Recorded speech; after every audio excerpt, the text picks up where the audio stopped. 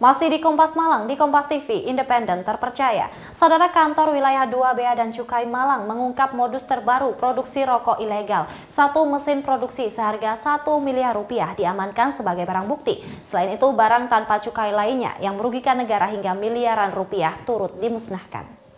Kami yang telah membantu mengurangi, kalau ini adalah... Di hadapan awak media, Dirjen Bea dan Cukai mengungkap salah satu modus terbaru produksi rokok ilegal. Tiga truk berisi barang bukti rokok, kemasan serta satu mesin produksi seharga 1 miliar rupiah turut diamankan. Hasil operasi tangkap tangan rokok ilegal tersebut berada di Desa Brongkal, Kecamatan Pagelaran, Kabupaten Malang. Pabrik rokok tersebut mengajukan izin produksi rokok tangan, namun dalam kenyataannya melakukan produksi rokok mesin. Mesin ini adalah mesin ilegal, ya.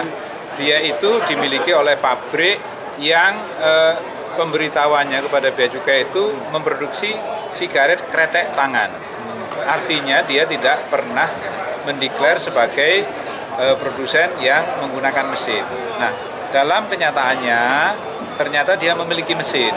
Itulah kenapa dari bea cukai Malang kemudian melakukan kegiatan preventif. Kita segel tetapi dia ternyata masih berusaha untuk ilegal dengan cara sembunyi-sembunyi malam hari melakukan kegiatan produksi dan kemudian kita lakukan surveillance patroli ya dan tertangkap tangan sedang dalam keadaan mesin menyala. Selain itu barang tanpa cukai seperti minuman keras, rokok tanpa cukai, hingga obat-obatan serta kosmetik yang merugikan negara hingga 2,2 miliar rupiah turut dimusnahkan. Hingga saat ini, total uang negara yang berhasil diselamatkan dari seluruh pengungkapan produksi rokok ilegal mencapai 1,52 triliun rupiah. Hilda Nusantara, Kompas TV Malang, Jawa Timur.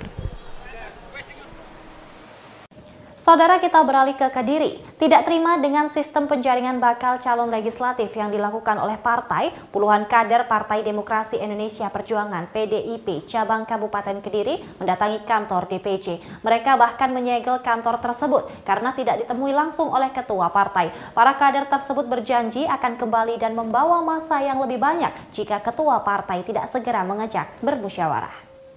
Lalu lintas, ya, silakan ya untuk hal-hal yang kurang baik negatif. Kader Partai Demokrasi Indonesia Perjuangan PDIP cabang Kabupaten Kediri mendatangi kantor DPC. Dengan membawa spanduk berisi tuntutan, para kader ini meminta ketua partai beserta sekretaris DPC untuk menemuinya. Namun hingga batas waktu yang ditentukan ketua partai tidak juga muncul. Para kader kemudian menyegel kantor tersebut dan meminta ketua partai untuk segera mengajak kader bermusyawarah. Para kader ini menanyakan proses penjaringan bacalek yang dilakukan oleh partai. Mereka menilai ada kekeliruan dan proses penjaringan tersebut tidak sesuai dengan peraturan partai. Selain proses penjaringan, mereka juga memprotes penentuan nomor urut bacalek yang sudah didaftarkan kader meminta ketua partai untuk menjelaskan mekanisme penjaringan dan penentuan nomor urut bacalek. Sementara itu, pihak internal partai membantah semua tuduhan para kader. Proses penjaringan dan penentuan nomor urut sudah dilakukan sesuai dengan peraturan partai. Bahkan mereka juga mengaku sudah mendapatkan salinan surat keputusan dari Dewan Pimpinan Pusat Partai terkait nomor urut bacalek. Pihak partai mengaku siap untuk melakukan koordinasi lebih lanjut lagi dengan para kader. Menurut pandangan kami, ada sesuatu yang tidak pas dengan proses anggaran dasar, anggaran rumah tangga kami, dan peraturan partai kami terkait dengan proses pencalonan eh, pencalekan ini untuk periode 2000 19. Sebetulnya kalau yang dianggap tidak sesuai uh, semuanya sebetulnya sudah dilalui proses itu.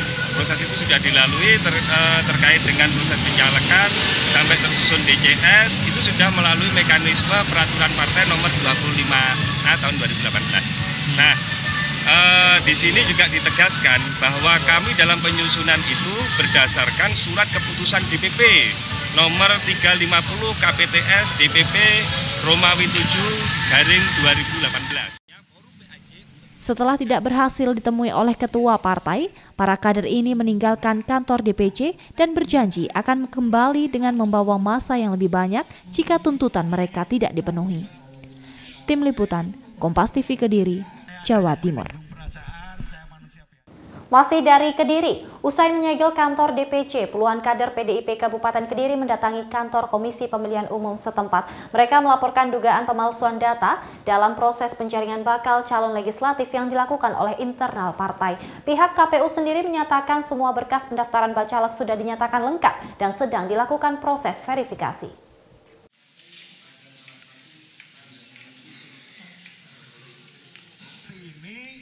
Puluhan kader PDIP Kabupaten Kediri mendatangi kantor Komisi Pemilihan Umum setempat. Mereka melaporkan adanya dugaan pemalsuan data dalam proses penjaringan bakal calon legislatif yang dilakukan oleh internal partai. Sebelumnya, para kader ini juga menyegel kantor DPC sebagai bentuk ketidakpuasan dalam proses penjaringan bakal calon legislatif. Para kader ini menyampaikan bahwa salah satu persyaratan pendaftaran bacalek yakni rapat pleno tidak pernah dilakukan oleh pengurus DPC. Surat formulir pernyataan rapat pleno yang sudah diserahkan oleh pengurus partai diduga palsu karena tidak pernah dilakukan. Proses penetapan nomor urut bacalek juga tidak sesuai dengan peraturan partai. Pihak KPU sendiri memastikan semua berkas pendaftaran bacalek dari PDIP sudah dinyatakan lengkap. Saat ini KPU masih melakukan tahapan verifikasi terhadap berkas pendaftaran yang sudah masuk. Meskipun begitu, KPU mengaku tidak bisa masuk ke urusan internal partai. Mereka hanya menjalankan proses verifikasi sesuai dengan peraturan dan menyarankan untuk membahas masalah ini di internal partai. Uh, kalau saya lihat mereka kan tidak menuntutnya kepada kita, hmm. mereka hanya mengklarifikasi apakah apakah uh, PDI sudah me menyampaikan berkas pencalonannya dengan e, sesuai dengan aturan dan mm-hmm. kami sudah menerimanya kami memang sudah menerimanya dan